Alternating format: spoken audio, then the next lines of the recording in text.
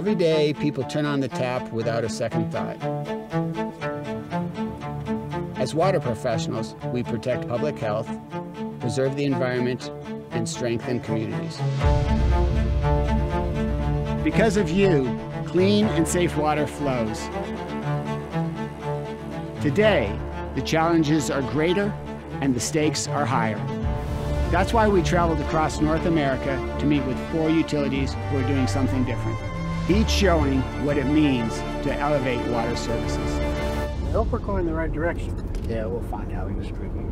In Northern California's East Bay, a legacy utility is proving climate action and public trust can flow together. We need to take bold action now, otherwise we're not going to be able to support this community, you know, to support this beautiful watershed in the environment. To meet that urgency, East Bay Mud is investing in clean energy and changing how utilities think about sustainability.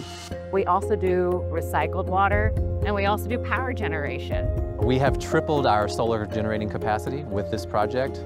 The Orinda Solar Project may seem unconventional for a water utility, but it's a bold step towards the future. This project is a meaningful way that East Bay Mud is, is taking those steps towards becoming a carbon-free water utility by 2030. As we're looking right over here, here's all of your solar farms. We're here to protect public health. We're here to protect the environment. We're here to support the community. And so you can feel really good about the work that we're doing. At East Bay Mud, sustainability isn't a trend. It's a responsibility and a promise to the future. And the people that work for us, we have to make sure they look out to the future. And to get there, they have to innovate along the way. They have to set big, ambitious, bold goals, like being carbon neutral by 2030. In Charlotte, water doesn't just move through pipes, it moves across systems, teams, and neighborhoods. And increasingly, it moves as one. There is no separation. There is no bureaucratic, well, that's not my area. They can call one number and get a thorough, comprehensive, accurate response all the time. And I think the undertaking for us was not trying to find how we can save a buck. It was really about how can we elevate that service, recognizing we're all working with the same resource. One water doesn't mean bringing anything down but everything. You're elevating yeah. everything. For Charlotte Water, One Water isn't just a slogan, it's a way of thinking. And that thinking is changing how the utility serves the public. The One Water approach integrates customer service. It's one water, one source, one community. If it's H2O, call one agency. Got it. It's Charlotte Water. It's Charlotte Water.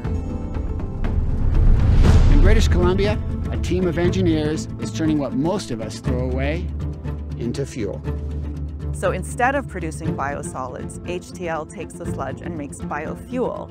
And that's a resource that refineries want to help make low carbon fuels. Hydrothermal liquefaction, HTL for short, is creating something useful, clean, and local. HTL is such a new process. The solutions that we're looking for probably don't come from our own sector.